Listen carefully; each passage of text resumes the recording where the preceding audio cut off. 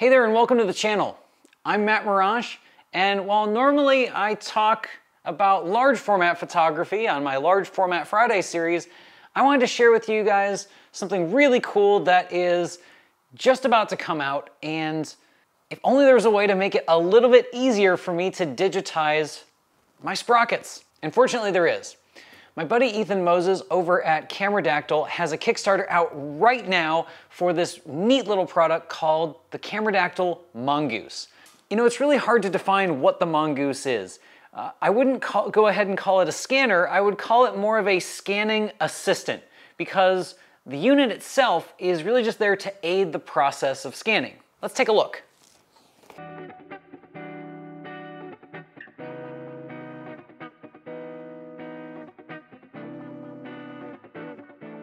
The core of our mongoose is this unit right here. It's a two-piece system. If you're familiar with any of Ethan's work over at Cameradactyl, much of what Cameradactyl is about is 3D printed, open source, inexpensive, self-produced uh, equipment for photographers in general, but specifically film.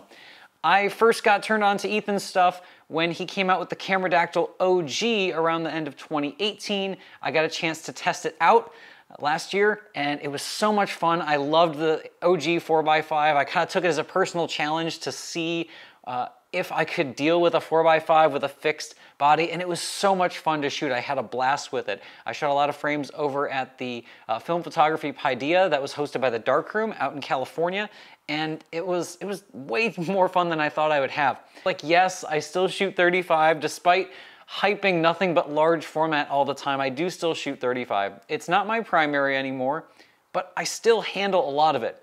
And in my day-to-day -day at Midwest Photo, I run the black and white darkroom there and I do black and white developing every week. So I still handle hundreds of rolls of film per month and I have an opinion on 35 millimeter scanning. It's not a good one, but I have an opinion about it and anything that can make that easier, I am all for. So if you're just used to flatbed scanning, stick around. We're gonna go through uh, the setup of this and I'm gonna show you some results that I achieved with the Mongoose and very little experience. So the Mongoose is not a standalone scanner. It's really a control box and something that's gonna pull the film through the sprockets and automate the process by triggering your camera after it detects the edges of frames. So other things that you're gonna need to be able to scan alongside the Mongoose, you're gonna need to have a consistent intensity light source, either a flash or an LED light box like the one I've got here and you're also going to need some sort of digital camera that can be triggered uh, by the control box of the Mongoose. Uh, to date, the Mongoose currently supports Canon, Sony, Nikon, Fuji, and I believe some other cameras are coming soon. I told Ethan I was gonna be using a Sony because I wanted to see how much resolution I could get out of a single capture, and he sent along a Sony cable. So anybody that backs the Kickstarter will also get the cable that matches the camera that they request. Uh, Camera-wise, I did go kind of all out. I am using a Sony a7R4, which is a whopping 60 megapixel sensor with a macro lens. Ethan recommends having a macro lens in like the 50 millimeter to 100 millimeter range is something that's gonna be able to get you very, very close to filling the frame with the film. The more you fill the frame with it, the less you're gonna have to crop in post. And there's no control, this does not control the camera, it's literally just a firing mechanism. So this control box handles some of the timing, the amount of film it pulls or detects, and it triggers the camera manually. So you can have the camera in either an aperture priority or a manual setting, whichever one you're comfortable with for automating this process. All right, let's get the unit set up. So I've got my camera leveled, I've got my light box on. I'm going to take my Mongoose and the sticker's kind of indicating how I'm gonna lay it. Now, you can use a copy stand. I just have my camera up on a tripod. As long as I can get this thing pretty level uh, to the film plane, that's really gonna be the biggest factor here. And the control box, I just need that within eye shot of the rest of the device. And now I'm going to plug in my control box. So the control box has some ports on it. Uh, the ports that we're really gonna care about are these first three here. That's your power port. That's your camera control port with a 2.5 millimeter jack.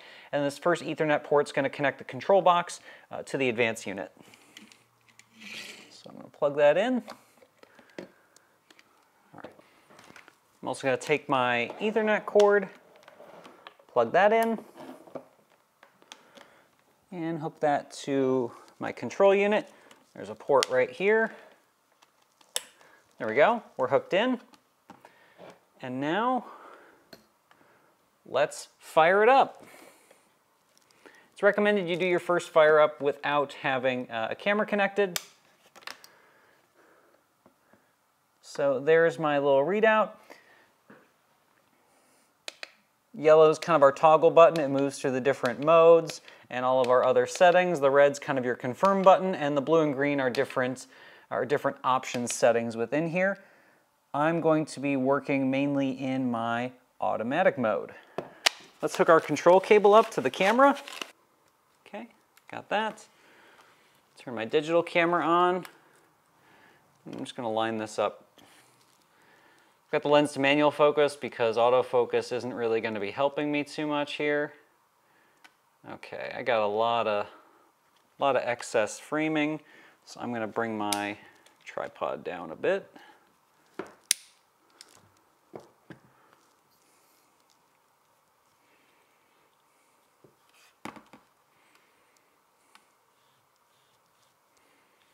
Okay, so I'm gonna feed in some 35 millimeter Eastman Double X that I've been shooting with my K1000.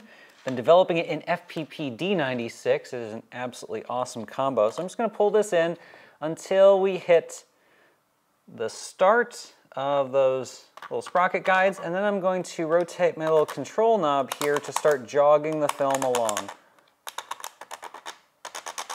And that pulls my film along. I can also control the speed. I can make it go way faster increments and way slower increments as well. So that's like buzzing through the film. And then I can also have it just go one little bit at a time. When loading film, I recommend going slow and steady wins the race. Okay, so here's what makes the Mongoose really cool.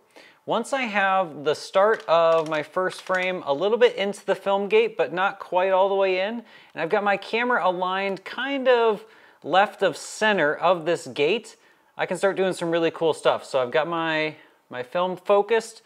I'm going to make sure I'm level. There we go. Re-leveled, focused on my film. I'm in automatic mode. I'm gonna hit my red button and it's going to start its automatic procedure. So it has little sensors on the inside of the gate and the outside of the gate, and it's reading those. And once it detects an edge, it starts triggering my camera. And when it does that, like that's it. We're automatic, folks. It's pulling a whole roll of film through, triggering my camera, the exposure is great. I'm getting, after the crop, I'm getting about 50 some megapixels of total resolution and yeah, while I'm talking, it's just rolling through the film. This is infinitely faster than anything I could be doing with a scanner or even a manual moving apparatus. I don't know about you, but this is, this is pretty easy. Still going strong, haven't missed a frame yet.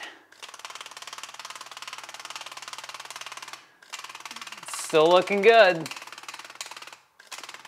All right, let's see.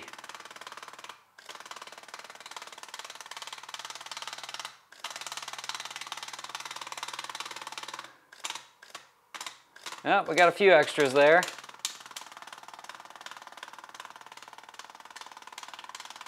And then once we're at the end of the roll, it says end of roll. So another mode that has the potential to be even speedier than automatic mode is fast mode. When you're in fast mode, you measure the distance between the frames by setting in points and out points for a number of frames uh, that you set. In the case of this one, I'm doing five frames at a time, so I'm going to hit my green and blue buttons, I'm gonna set my in point for my first frame, which is nice right there. So that's my in, and then I'm gonna jog through and I'm going to find my fifth frame. So that's frame two, frame three, frame four, Frame five. Mark my out for that. And then I'm gonna reset it by hitting the red. There we go, we're at frame run, and go.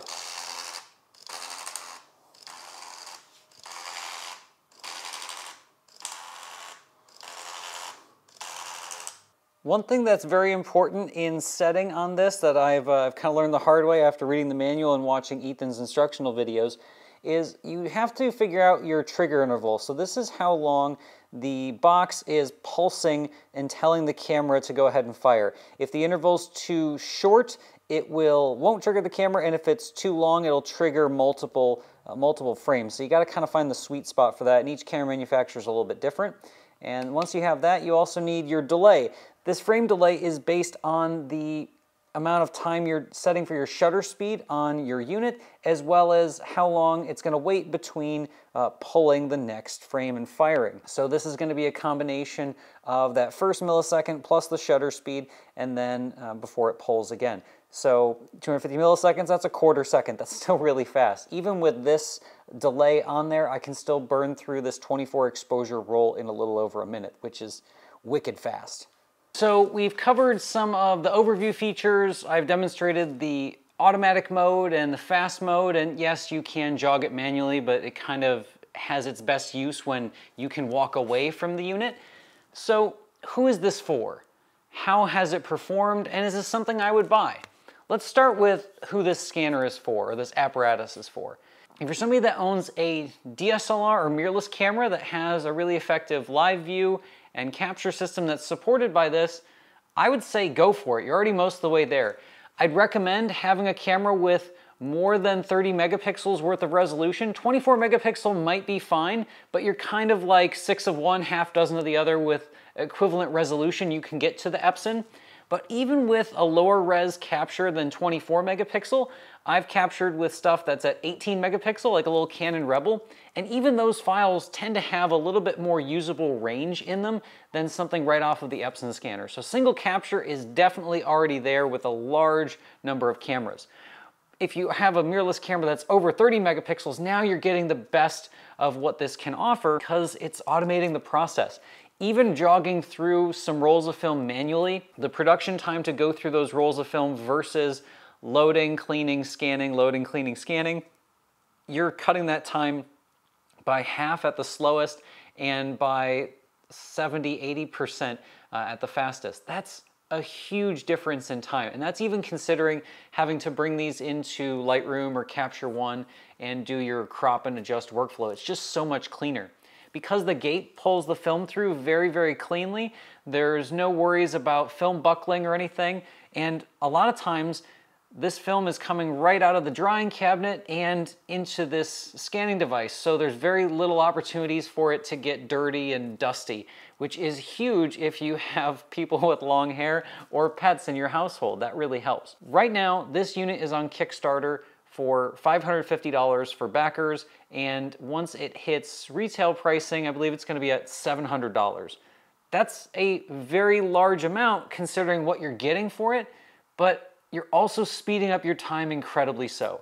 So I think anybody that's shooting more than five rolls of film, 35 millimeter per month, you could really benefit from this. If you're somebody that's running a small lab where you're doing rolls of film for customers and you're just there kind of babying the scanner the whole time, this could be a really easy way to enhance your workflow to be able to do more rolls of film in the same amount of time or dramatically decrease the amount of time you're watching those scans go through. In a production environment, I think that's where this unit really, really excels.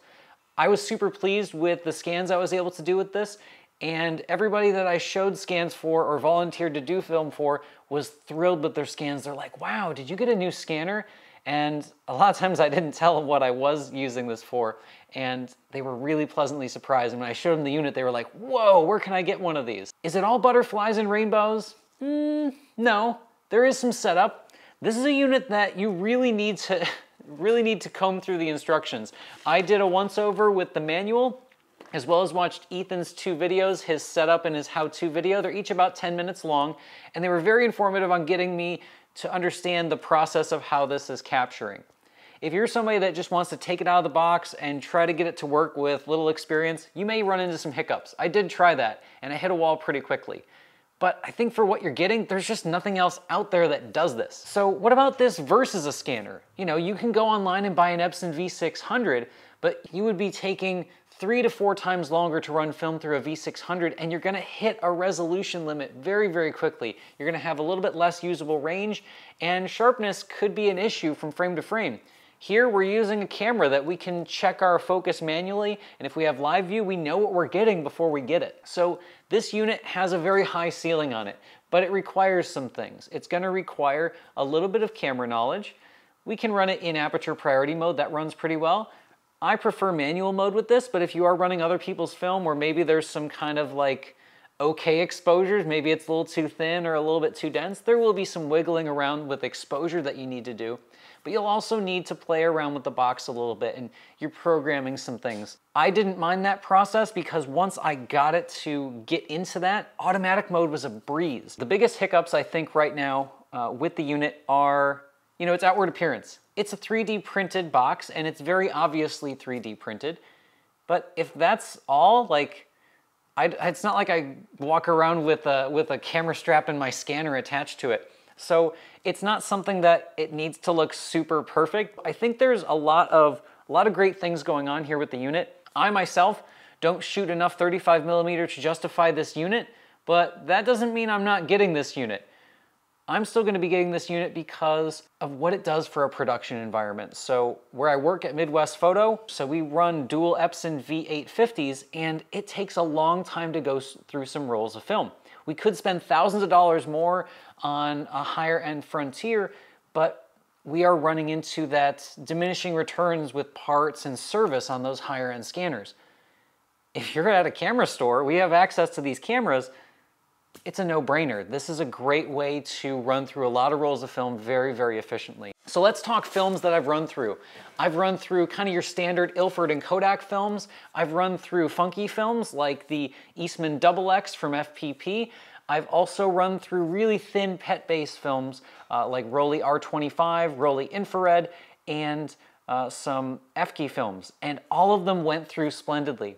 I did notice the really thin base and the super transparent Rollei films tend to uh, be easy to trigger the sensitivity of the automated mode. So I needed to turn down the sensitivity of the box to get it to pull through. But that was like 20 seconds of troubleshooting, like literally just toggling through the menu, dialing the sensitivity down, and I was back in business with the unit. So any of the hiccups that I've hit with the unit were really just my lack of experience with it but even in that, I've had this unit in my possession less than a week, and I've already scanned more rolls of film in that time than I've done in the last six months. That's a powerful response to a device that makes things easier. So if the reason you're not shooting 35 is because you can't digitize it effectively, check out the Mongoose. So that's gonna do it for me and the Mongoose here. If you have any other questions about the operation of this, I'll do my best to field those. Otherwise, I may have to refer you to Ethan over at Cameradactyl. But if you have any big questions about it, drop them down below in the comments, or you can also shoot me a long format question to largeformatquestions at gmail.com. I know that's the email I use for this channel. This isn't large format, so just put Mongoose in the title so I know it's not from Large Format Fridays, and I'll do my best to answer it. If you wanna check this out and back it on Kickstarter, there's nine days left, so go and support Ethan and his really awesome 3D printed, self-made project devices like this. It is so cool, and I'm just really excited that people are making their own solutions. Like there's all this aged hardware in the world of film photography. None of the big names are stepping up to the plate, and we have guys like Ethan that are innovating and truly making new products that are gonna help us continue film photography. So we definitely wanna show love and support to people that are doing that. Thanks again for stopping by today. This was a bit of a special review. Thanks to Ethan over at Cameradactyl for making this product, giving me a, pr a prototype model that I can talk about here on the channel and share with you guys. And don't worry, Large Format Friday is not going anywhere. We're still gonna roll the regular Friday shows. So if you like this, let me know what you think. Uh, I wouldn't be against talking about more common film stuff, but large format is my passion. It's what I love to do, but I still do shoot film of all shapes and sizes, uh, except APS. We don't talk about APS here on the channel. Anyway, we'll catch you next time and see you on Friday for Large Format Fridays.